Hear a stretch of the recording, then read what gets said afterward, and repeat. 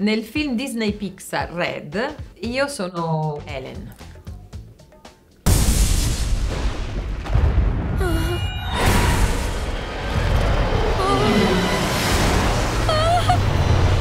I film eh, Disney Pixar incredibili sempre, a qualsiasi età tu li veda o li riveda perché parlano di questioni che non invecchiano, non, secondo me non, non, investono tanto sulla modernità, cioè sul momento, ma su quei macro argomenti che si evolvono, no? Ed è incredibile come quando vengono prodotti e diretti siano, cioè, abbiano sempre un'apertura, per cui tu in qualsiasi momento li vedi riesci a cogliere il tuo momento dentro a quel film. Quindi è come se crescessero con te. Dunque, Mei Lee nel film Red a me piace parecchio perché ha un atteggiamento alla propria evoluzione, cioè al proprio diventare grande coraggioso. È proprio una caratteristica che nelle persone apprezzo tanto e credo di essere stata anch'io un'adolescente coraggiosa. Appena vedo un personaggio che mi ricorda quella forza, quella voglia di essere, di affermarmi, no?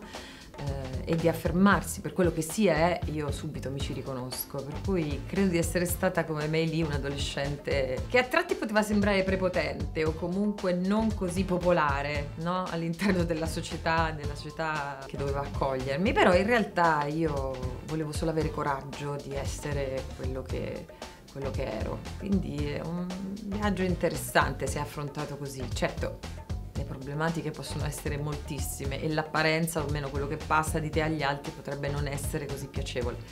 Però alla fine vince. Forse non mi dispiace la nuova me. Gli amici ti salvano, gli amici giusti ti salvano, anche quelli un po' sbagliati, no? Quelli forse non proprio perfetti eh, perché ti danno la misura di dove sei, di cosa devi cambiare e ti danno la possibilità di poter dire no a qualcosa che probabilmente non è giusta per te, no? I genitori durante l'adolescenza, come appunto succede a me lì, hanno sempre un ruolo che deve essere scomodo, perché sei quella che accende la crisi, no? Le crisi sono fondamentali, quindi lo scontro sano, il dirsi le cose in faccia, prendersi quei momenti in cui invece la mamma non è amica ma resta fuori e si ristabiliscono i ruoli, quindi le amiche, le regole. Mia mamma era sempre un po' in imbarazzo, aveva sempre la sensazione di essere di troppo. E, e, poi si fidava molto di me e della mia autonomia, quindi mi metteva in condizioni di essere autonoma, c'era il giusto, ma io invece volevo che lei ci fosse di più, quindi guardando questo film, per esempio Red, un po' la lacrimuccia all'idea che mia madre potesse essere un pochino più invadente proprio, cioè come, come atteggiamento mi, mi, boh, così, un po' di nostalgia, cioè mi sarebbe piaciuto, ecco. Le boy band per me sono sempre state, voglio dire, al centro di grandi entusiasmi, grandi desideri, no? Il principe azzurro, bello, che canta, che si muove, che balla.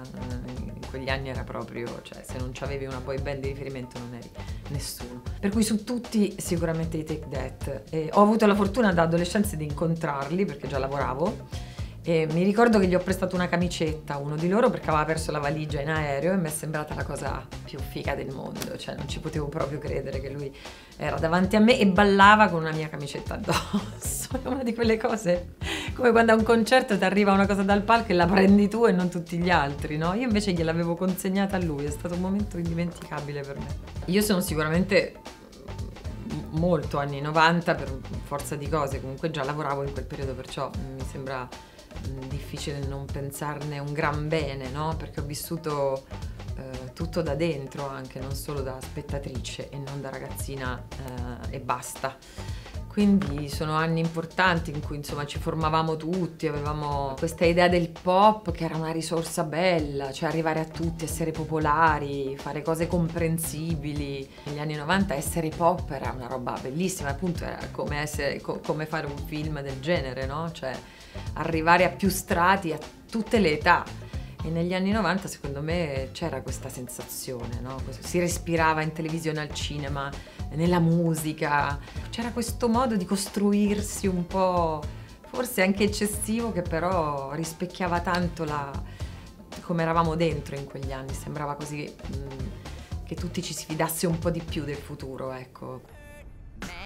I nostri antenati avevano un legame mistico col panda rosso. Ma se Meili si trasforma in un gigantesco panda rosso che al giorno d'oggi è perfetto perché per essere eh, per affermare no, la propria identità forse c'è bisogno di un gigantesco panda rosso per tutti i ragazzini che guarderanno il film sono sicura che vorranno a un certo punto trasformarsi in un panda rosso. Eh, per me c'era la sensazione inversa cioè quella di cercare di diventare un pochino meno visibile per cui credo in quegli anni mi sarei trasformata volentieri in un gattino piccolo perché in realtà forse io ero un panda rosso urlante quindi l'idea di involvere in questo senso, secondo me, mi avrebbe fatto comodo, ecco. Cioè io senza la trasformazione ero un panda rosso. Mi svegliavo già panda rosso.